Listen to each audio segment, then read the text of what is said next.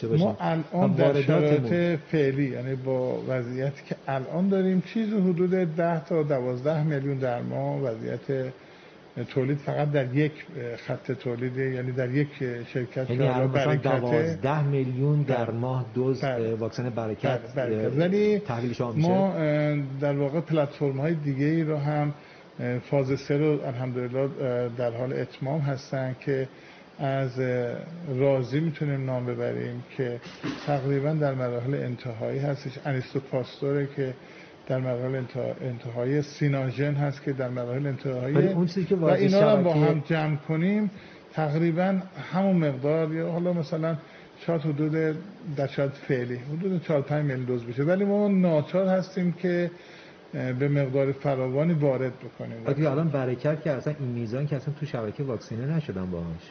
نه یعنی آمار زیر تقریبا 3 میلیون دوز فکر کنم بله، 2 میلیون بله، خورده. بله یعنی با این آماری که شما فرمودین بله. خیلی فاصله داره. بله.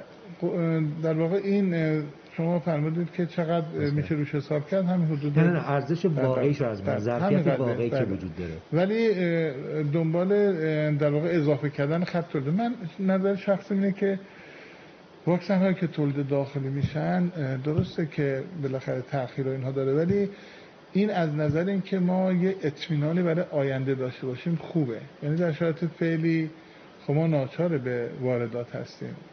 ولی اینطور نیست که شما در واقع واکسن یه بار بزنید تموم بشه یا دو بار بزنید تمام بشه. بالاخره این بیماری کرونا در واقع پایدار خواهد بود و ما باز به دوزهای بعدی الان شما می‌دونید که در بعضی از کشورها دوز سوم هم ما هم خواهیم داشت در, واقع سوم بله آدمای همین الان هم می‌خوایم. در اونایی که های ریسکن در اونایی که در مثل کارد بهداشت درمانی در واقع بهش میگن بوستر دوز این بوستر دوز رو همین الان هم